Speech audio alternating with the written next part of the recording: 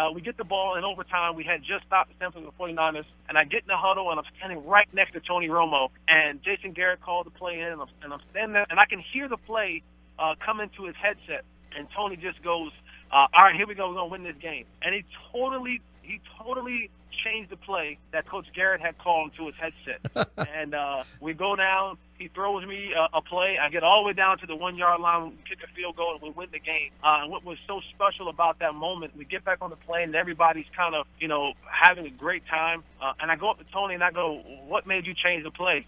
And he goes, "You told me you were ready." Because right before that, you saw Tony talking to me on the sideline before that play, before we got the ball, and he, I don't know what he was saying to me. I just kept telling him, "I'm ready, Tony. I'm ready. I'm ready, Tony. I'm ready. I'm ready. I'm ready." And he goes, "You just told me you were ready." And so I Well- threw you the ball. And so that that that was a great moment for me.